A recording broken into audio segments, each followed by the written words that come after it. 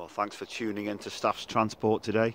It's the 27th of December and we're here in the Apedale Valley. SJ and I have had a nice walk up into the valley, but we've come down here to Apedale Road Station to catch the train back to Silverdale for a cup of tea. And we've also heard that the steam locomotive in service today is Edgar, which we haven't seen here before. So, the anticipation mounts.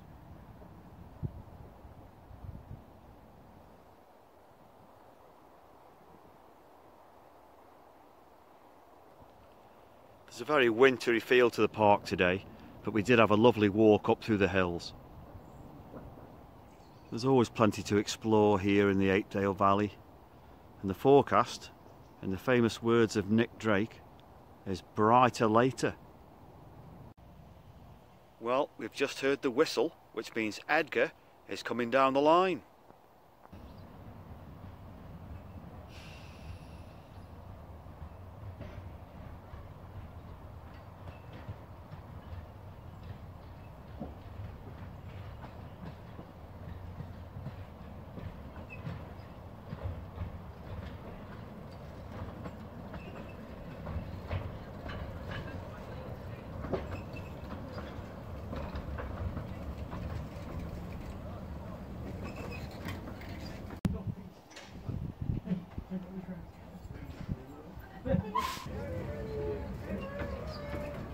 A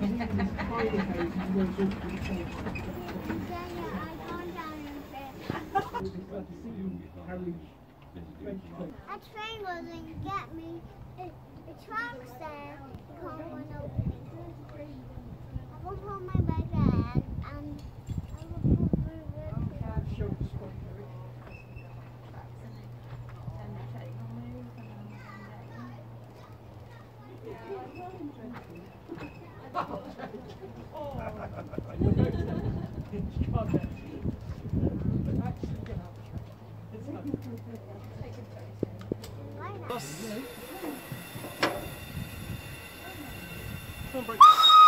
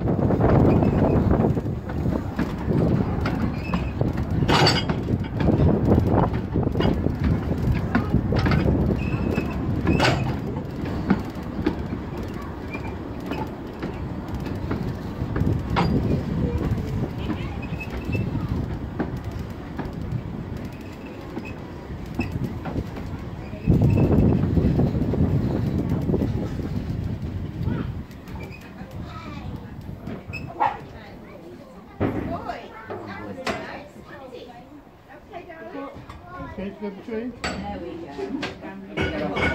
go.